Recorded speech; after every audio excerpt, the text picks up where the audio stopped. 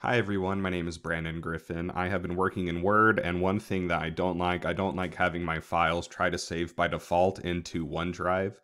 So um, to change that, you need to go to File, go to Options, and then you need to go on under Word Options, you need to go to Save, and there's a little button that says Save to Computer by default, and when you hit OK, it will automatically save to your computer by default. So when I have to submit my, you know, 25th version of my dissertation draft, I don't have to keep going through those annoying steps. So to do this, you go to options, you go to save, and there's that little button that says save to computer by default. So now when I go to file, save as, because I want to change the name or I want to change the file type, it's automatically going to go to these other other locations. It's not going to automatically try to save into my OneDrive.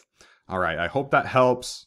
It it's something that bugs me, but it's helped me in the past. So you have a great day and happy learning.